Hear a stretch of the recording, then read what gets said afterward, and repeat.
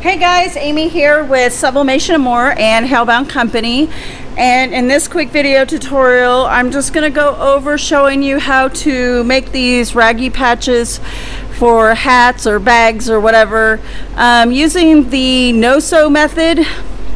Um, so you don't have to have a sewing machine or sewing machine skills, which I do not have.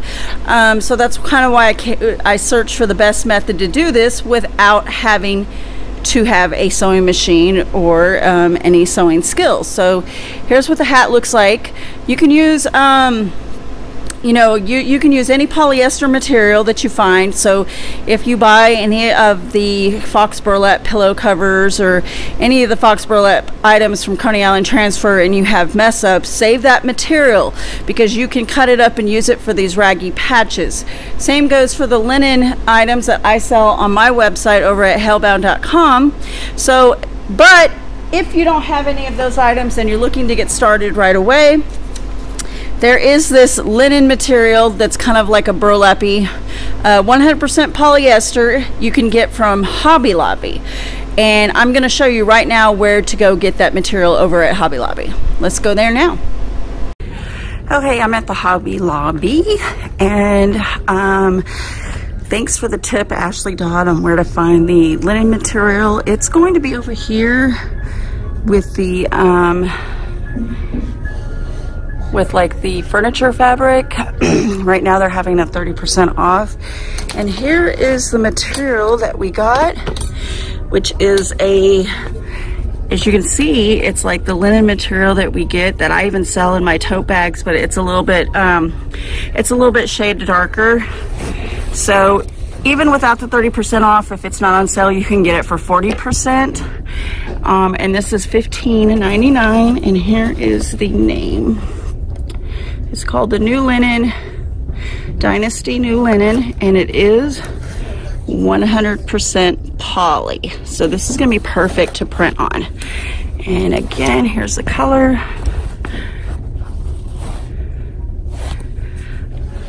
Okay guys, you better go get some before it runs out.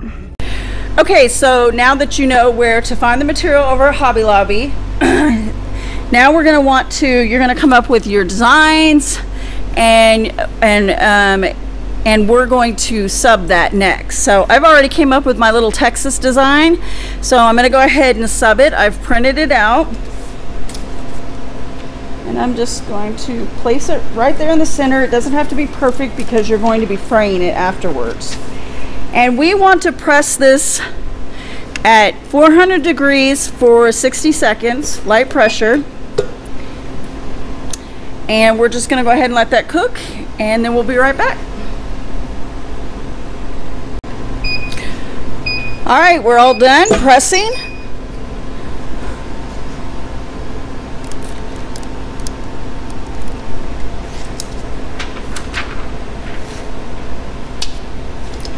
And that looks great. Okay, so um, so that came out really good. Hopefully y'all can see that. I mean, I, there you go, a little light. All right, so next what we want to do is we want to fray it around. So I'm just gonna give it a little bit of border. I'm just gonna cut it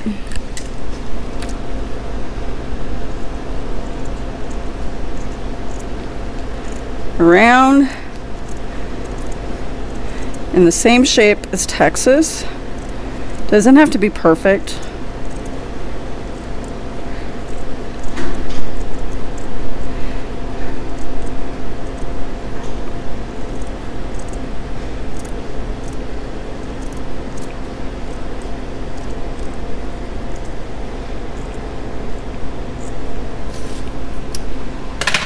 All so next we want to next we want to go ahead and start fraying it.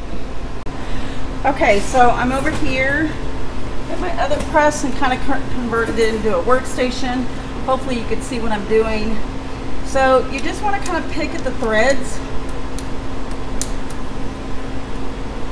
Sometimes I do it on the back because they work better. And we're just going to fray it all the way around. You got to do it to pick up the threads.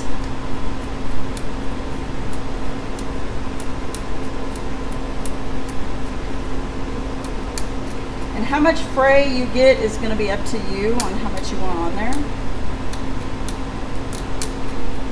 So that this doesn't make take up a lot of time of the video, I'm just going to go ahead and fast forward this part now.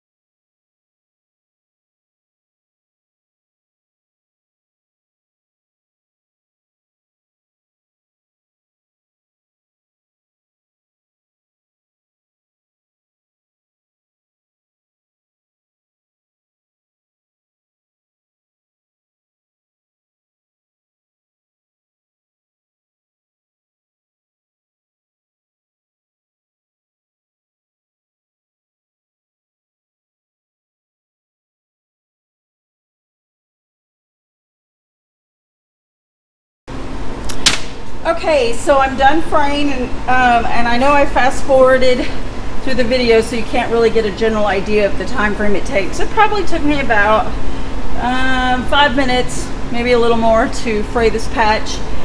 And um, I, I'm gonna tell you on shapes like this that are going in different directions, the thread is going to be a little harder to fray versus just a straight round or square patch.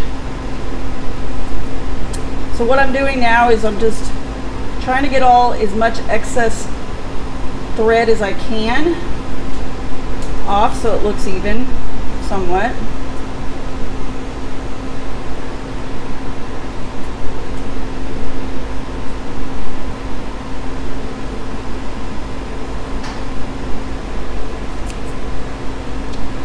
You don't want it to look perfectly even because then it doesn't, it kind of takes away from the raggy look.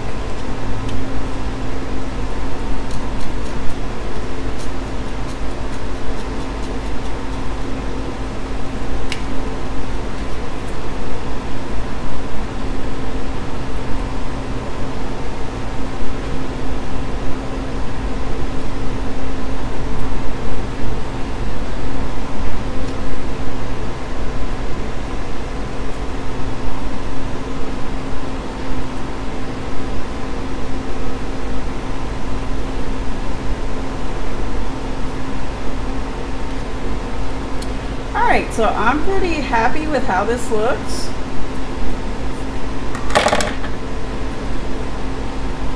Just try to get as much as of the excess off as you can. Okay, so next what we want to do is, in order to keep it from not fraying, which is what most people, why most people will um, put a stitch around it, is to keep the material from fraying. I found something that we can use instead which is called No Fray. Now they do have different variations of this stuff. Um, I mean, by different manufacturers. So, um, but I got this at Hobby Lobby. It's by Dritz and it's called Fray Check. So it just stops fraying on the fabric. You just want to put a little dab, a little bit around the edges. And I can tell you that it's going to make it look like it changes the fabric color, but when it dries, it's, it's fine.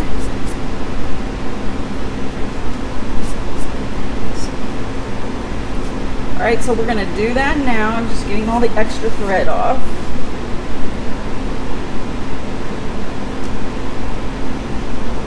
Just put a dab all the way around. Pretty much at the edge of where the fraying is.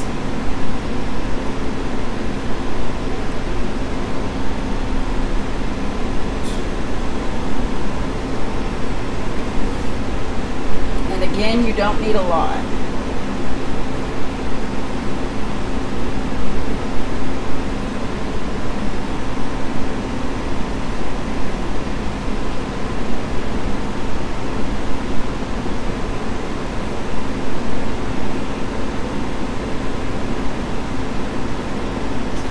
All right, now they recommend that you let it dry for 24 hours.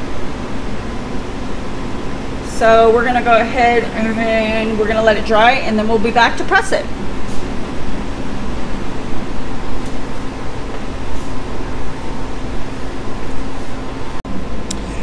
Okay, the fabric's dry, and here's a little quick uh, little quick tip to dry it even faster. Just take your patch, put it on your heat press, the one with the, uh, the heat press that had the 400 degrees when you pressed it from sublimation, swing it over and just let it sit over it for about five minutes.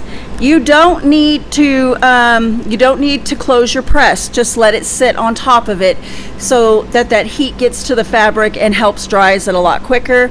I promise it takes it only about five minutes doing that. And as you can see with it completely dry, you don't see any stains um, or any residue left over from the um, from the fraying glue. So, okay, so we did that. Next, we need to next we need to go ahead and put on our adhesive. Okay, so we're going to go over to the other press for that because um, it requires a different temperature. Okay, we're over here at the heat press, and we're the next step is to put the adhesive on. Um, there's two different types of adhesive I suggest you can use. One you can purchase directly from Hobby Lobby or any of the craft stores. It's called the Heat and Bond Ultra Hold. This was a roll of it for $10.99. Um, this stuff is pretty good, but it's not my number one choice. I actually discovered that using the adhesive from Siser that you use for foil, uh, the, the Siser Easy Weed adhesive is awesome. It works great, and I highly recommend this over the Heat and Bond. Um, as you can see, it's for foil application. This one I got from Coastal Business Supplies, so you can go to their website and purchase rolls of this for a reasonable price. The instructions are 300 degrees. Um, you preheat for two to three seconds. Uh, but what we're going to do is we will stick the adhesive for three to five seconds and then we'll do a full press over on the hat for 10 seconds. Okay, the next little tip I did, believe it or not, and you could do this out of your regular printer. I didn't have my regular printer here. Um, I just have my sub printer. So I stuck a piece of this in my printer just to print the, the Texas outline. So I don't recommend this with your sub printer because then you're wasting sub inks. But for certain shapes like this, um, for certain shapes, I recommend printing it because then it makes it easier to cut out. So I'm just gonna, what I'm gonna do is follow the line here. Oops, and I don't wanna use those scissors. Those are my fabric scissors.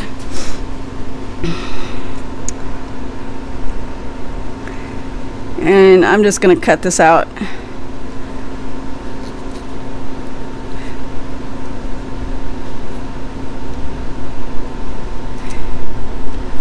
Doesn't have to be cut perfect, so you just you're wanting a an a guide to stick on. And this just gives you the exact shape too if you're doing shapes like this that are obviously not square or round if you're square or round you can just get your measurements of your square round patch and then do that oops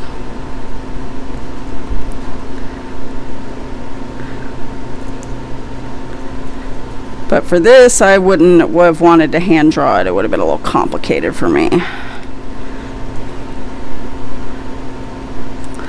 All right, so let's see how it matches up.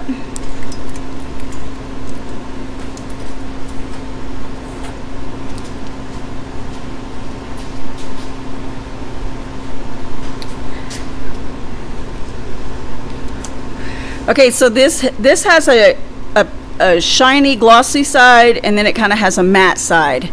The matte side is the side that you're going to want to stick on first to the back of the patch. Oops, and we should have printed it the other way. Ruh-roh. Whale. So I printed it in mirror view, so I got to do it again real quick and not print it in mirror view. All right, so let's try this again.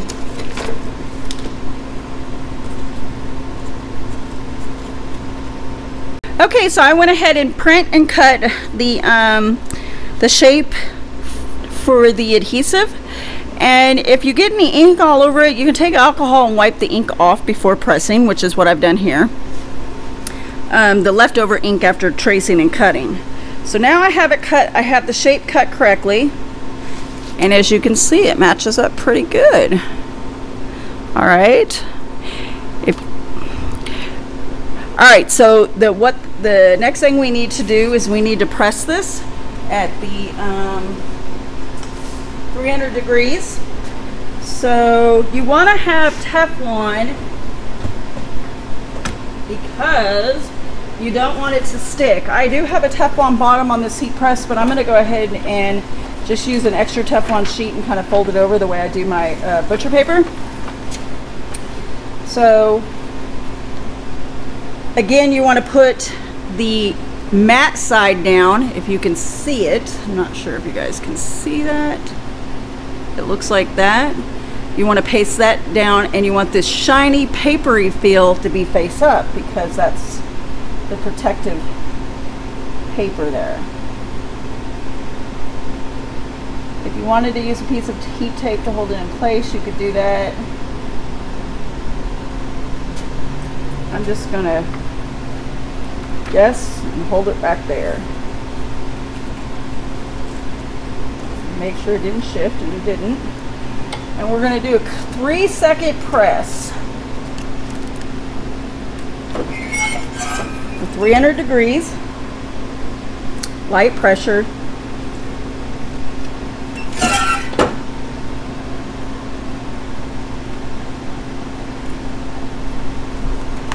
Okay, see how it kind of sticks? So that's why you want to use your adhesive.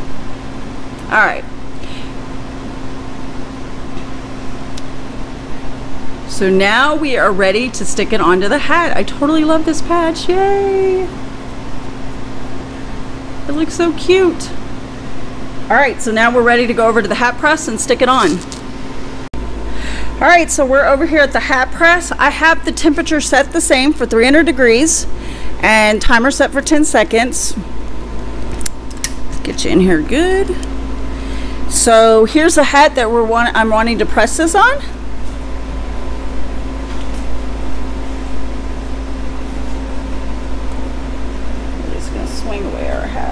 I am using my Heat Press Nation Signature Black Signature Series hat press.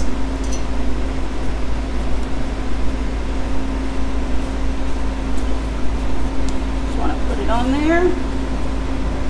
And because this is sub, you want a piece of paper. You're going to need your butcher paper for your hat press as well because you don't want that inks want the ink going onto the top of the platen of your hat press.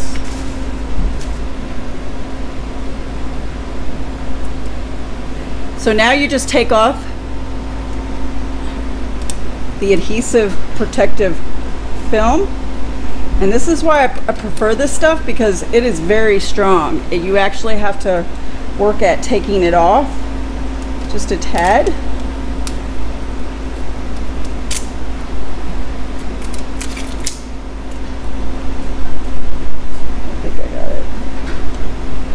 got it all. Okay. So now you just place place it on the hat and hopefully you guys can see me doing this.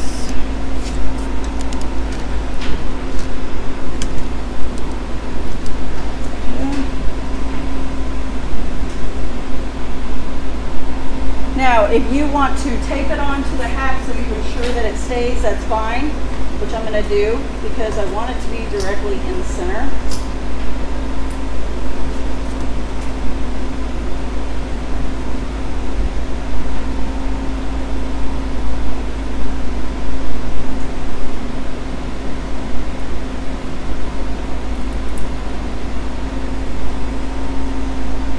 Little bit of tape is all you need. Put your butcher paper over. Ow. Try not to burn yourself. Oh, my bill's in the way. Alright. Your butcher paper falls out, just slide it back in. Give it medium pressure. And we're going to do the full 10 seconds.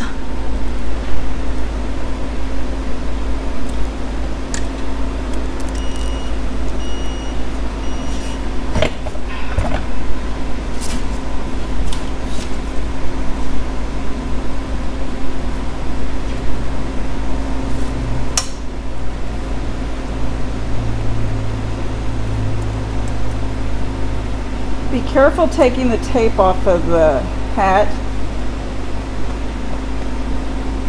if you use tape. Ah, and hopefully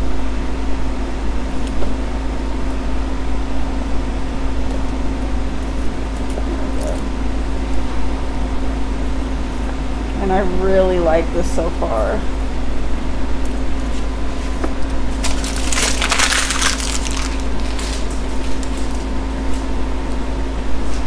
Ah, it's so cute. Look at it.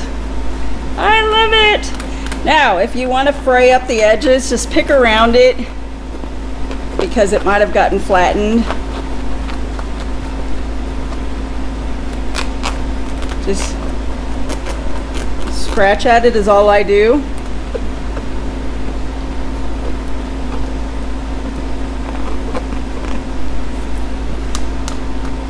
But as you can see, the patch is on there really well.